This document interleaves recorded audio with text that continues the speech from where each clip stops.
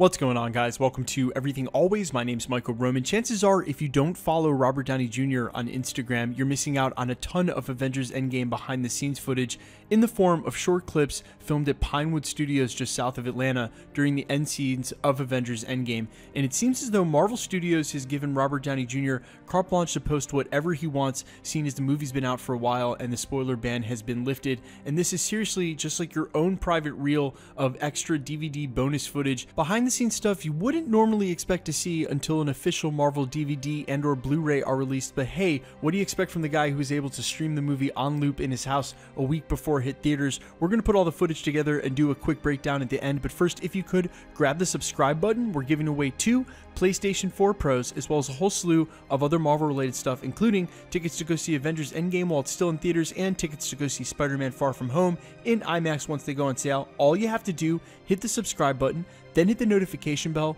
leave a like and a comment on this video, and we'll get into all the giveaway stuff again there. So, like I said, we're just going to string all this footage together and then I'll do a quick breakdown at the end. Mrs. Stark! Ah, oh my god! Holy cow! You will not believe what's been going on. Do you remember that we were in space just a minute ago? And then I like vanished and what's all that gray stuff in your hair? It's just gray hair. Oh, it's okay. I'm sorry. Anyway, Doctor Strange was there when I got back, right? And he gave us this big briefing on how to.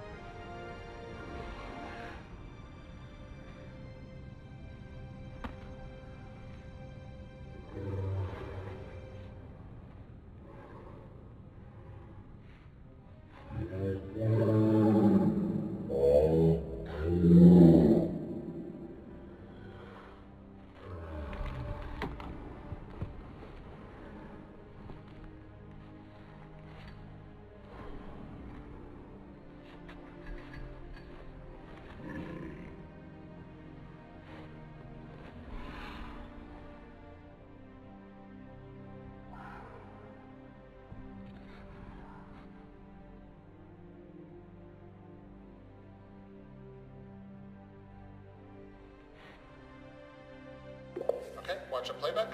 Chris, you good? Happy birthday to you. Happy birthday to you. Happy birthday. You're gonna I, no, I think I got cut out of that. Let's go to Vegas, bro. Do I still throw Spider-Man? Okay, good. And then I jump out?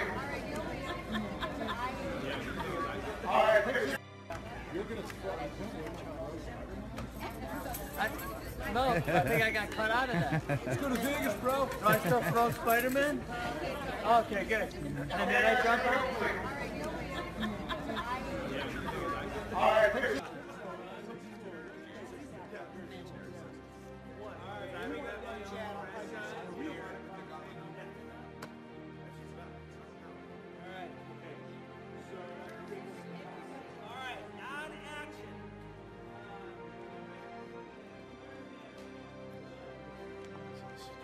out?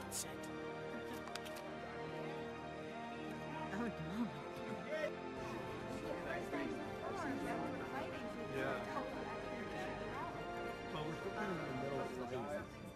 yeah, but there's always time to look at the flowers. I think it's This is what all the this is what all the flowers on this one. I don't know that. I'm like, oh, this is pretty. Yeah, welcome to the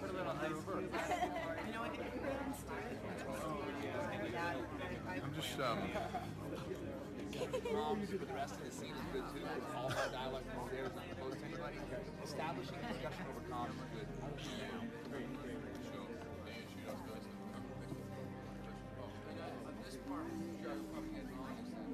But that's Oh, it's a video.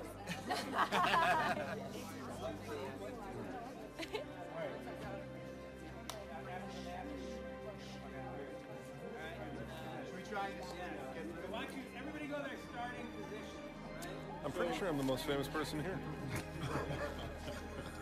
This is a really illegal video. Big trouble. Oh, big time. I'm gonna bring.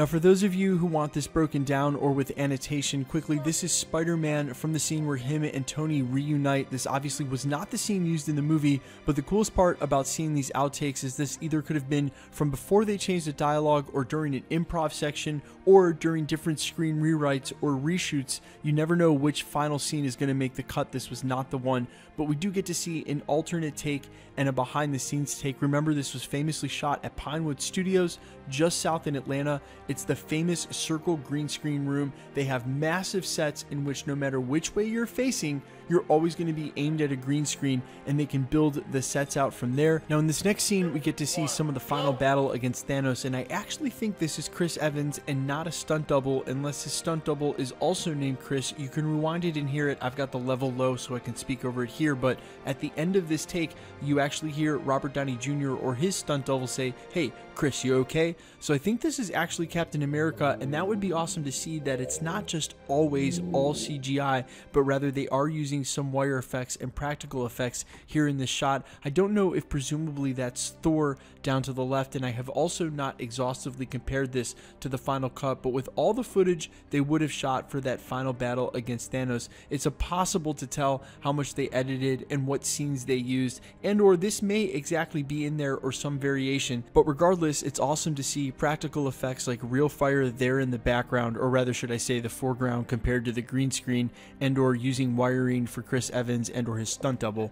Yet to be seen whether that's him or not. I'm guessing we're going to find out during the outtakes on the DVD. Here is them all singing Happy Birthday to Josh Brolin while they were on set. Of course, they were on set for so long. I'm sure a lot of them lost their minds. Also funny to note, Sean Gunn was there in the background, but nowhere to be seen. Maybe he did the mocap for Rocket, or if he played himself, Kraglin, he didn't make it into the final cut. And of course, this is just some other outtake footage where everyone's being silly and being themselves. But again, you can see how many of these stars they were able to wrangle and put into one spot at the same time. And this is pretty much everybody here. Go ahead and take a good look again. It's almost the full squad which is awesome. There with Ronan in the middle, or rather Renner holding the Stark Tech Infinity Gauntlet. And you'll notice not a lot of these are stunt doubles, unlike these next videos provided to us courtesy of Chris Pratt. Yes, Robert Downey Jr. is not the only leading man and actor of huge prestige on set, as Chris Pratt has now become one. And it seems like Marvel Studios gave Chris not only the same go ahead to film these in the first place, but to post them when they said it was okay. And that's why Chris looks at the camera and goes, hee hee, this is a highly illegal video. He's only doing it because he's allowed. He would never do anything that's against his contract or illegal on set. We all know that. And the thing I wanted to point out was unlike the footage we saw just before this, where everyone was in their final costumes, let's look at Chris Hemsworth.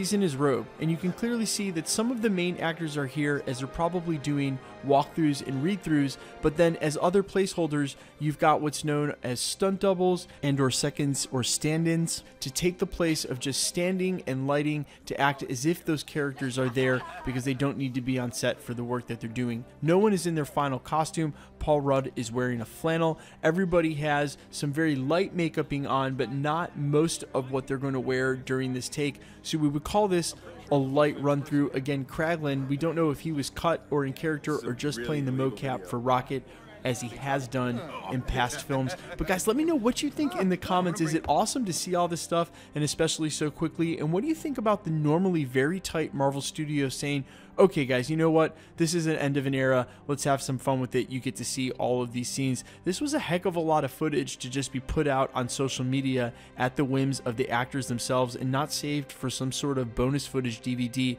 I really appreciate that Disney and Marvel Studios are doing that. And quickly, let's get into the giveaway stuff before I let you go. We're giving away two PlayStation 4 Pros, one at the 400,000 subscriber mark, which we are rapidly approaching. Another over on my Spotify account, All Fires. If you don't already have a Spotify account, it's free to make one. If you do, head over to the link down in the description or the comments, follow the account, then stream the song, screenshot that, and send that screenshot to everythingalwaysyt at gmail.com. A lot less people are going to do that than subscribe, so you're going to weigh up your odds of winning that second PlayStation. We're also giving away tickets to go see Avengers Endgame in IMAX while it's still in theaters, and tickets to go see Spider Man Far From Home in IMAX once they go on sale. If you want to win any of the stuff here at the channel, all you got to do, hit the subscribe button then hit the notification bell, leave a like and a comment on this video, and the more videos you like and comment on, the better chance you have of winning. My name's Michael Roman. This is Everything Always. Thanks for checking out the channel, guys, and stick around. We'll be posting again real, real soon.